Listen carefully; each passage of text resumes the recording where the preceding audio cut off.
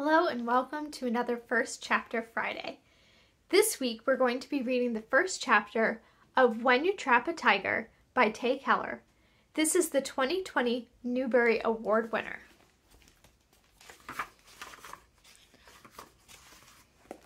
Chapter 1 I can turn invisible. It's a superpower, or at least a secret power. But it's not like in the movies, and I'm not a superhero, so don't start thinking that. Heroes are the stars who save the day. I just disappear. See, I didn't know at first that I had this magic. I just knew that teachers forgot my name, and kids didn't ask me to play, and one time, at the end of fourth grade, a boy in my class frowned at me and said, Where did you come from? I don't think I've ever seen you before. I used to hate being invisible, but now I understand. It's because I'm magic. My older sister, Sam, says it's not a real super secret power, it's just called being shy. But Sam can be rude. And the truth is, my power can come in handy, like when Mom and Sam fight, like right now. I wrap myself in invisibility and rest my forehead against the back seat window, watching raindrops slide down the side of our old station wagon. You should stop the car, Sam says to Mom. Except Sam actually says this to her phone because she doesn't look up. She's sitting in the passenger seat with her feet slammed against the glove compartment, knees smashing into her chest, her whole body curled around her glowing screen. Mom sighs. Oh, please, we don't need to stop. It's just a little rain. But she ticks the windshield wipers up a notch and taps the brakes until we're going slug slow.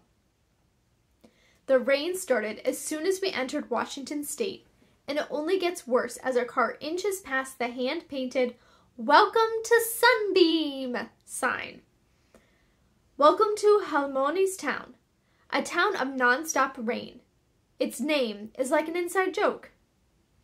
Sam smacks her black painted lips. K. That's all. Just one letter. She tap taps her screen, sending bubbles of words and emojis to all her friends back home. I wonder what she's saying in those messages. Sometimes, when I let myself, I imagine she's writing to me. Sam, can you at least try to have a good attitude about this? Mom shoves her glasses up on her nose with too much force, like her glasses just insulted her, and it's personal. How can you even ask me that? Sam looks up from her phone, finally, so she can glare at Mom. This is how it always starts. Their fights are loud and explosive. They burn each other up. It's safer to keep quiet. I press my fingertips against the rain splattered windows and draw a line between the drops, like I'm connecting the dots. My eyelids go heavy. I'm so used to the fighting that it's practically a lullaby. But, like, you realize that you're basically the worst right now? Like, this is actually not okay. Sam? Mom is all edges, shoulders stiff, every muscle tensed. I hold my breath and think, invisible, invisible, invisible. No, seriously, Sam continues, just because you randomly decided that you want to see Halmoni more, that doesn't mean we want to uproot our entire lives. I had plans this summer. Not that you care. You didn't even give us fair warning. Sam's not wrong. Mom told us only two weeks ago that we were leaving California for good. And I miss it too. I'm going to miss my school and the sunshine and the sandy beach, so different from the rocky coast at Sunbeam. I'm just trying not to think about that. I thought you should spend some more time with your grandmother. I thought you enjoyed that. Mom's tone is clipped. The rain has gotten heavier, and it sucks up her focus. Her fingers white-knuckled on the steering wheel. None of us like the idea of driving in this weather, not after Dad died. I concentrate on the steering wheel and squint a little, sending safety vibes with my mind, like Halmoni taught me to. Way to deflect, Sam says, tugging at the single streak of white in her black hair. She's still angry, but deflated a little. I do enjoy spending time with Halmoni. I just, not here. I don't want to be here. Halmoni's always visited us in California. We haven't been in Sunbeam since I was seven. I gaze out the windshield. The landscape that slips by is peaceful. Gray stone houses, green grass, gray restaurants, green forest. The colors of Sunbeam blur together gray, green, gray, green. And then orange, black. I sit up, trying to make sense of the new colors. There's a creature lying on the road ahead. It's a giant cat, with its head resting on its paws. No, not just a giant cat, a tiger. The tiger lifts its head as we approach. It must have escaped from a circus or zoo or something, and it must be hurt. Why else would it be out here in the rain? An instinctive kind of fear twists in my stomach, making me car sick.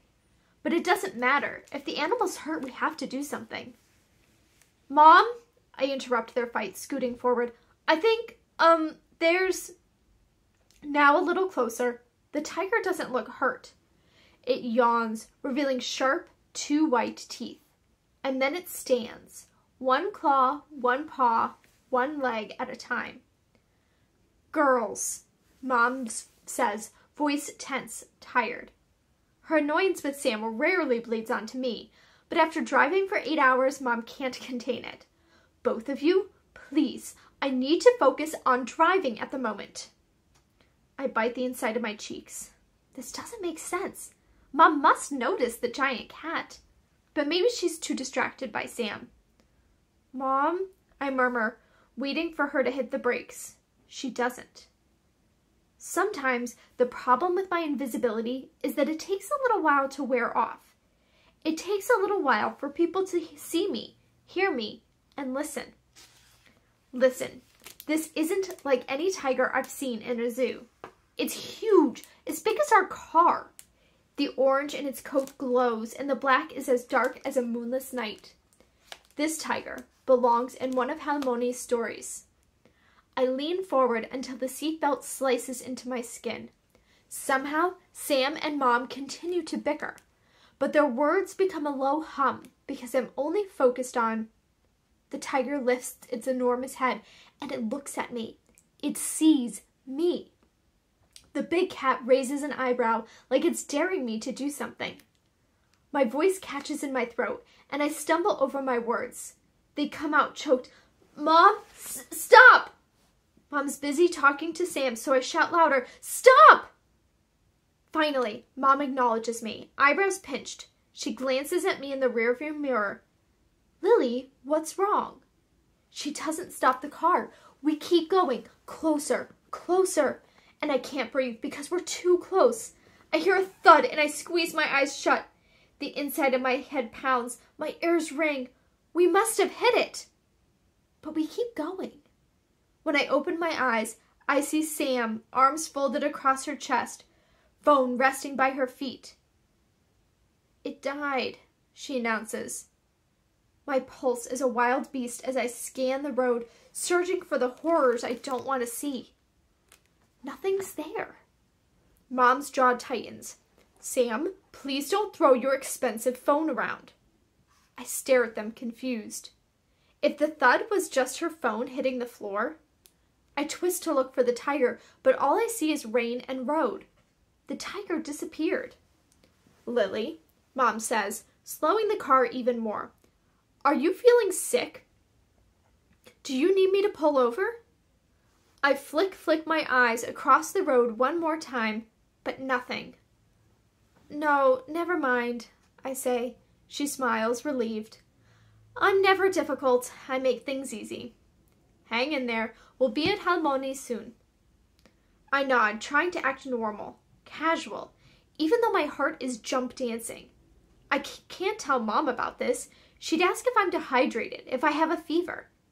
And maybe I do. I press my palm to my forehead, but I can't tell. I guess it's possible that I'm getting sick. Or maybe I just fell asleep for a moment. Really, there's no way I saw a giant tiger appear and disappear in the middle of the road. I shake my head. Regardless of whether the tiger was real or I dreamed it, or if I'm losing my mind, I need to tell Halmoni. She will listen. She will help. She will know what to do. Check out When You Trap a Tiger by Tae Keller. This is a just beautifully written book that blends fantasy and reality into an amazing story. I know you're going to want to check this one out. Have a great week.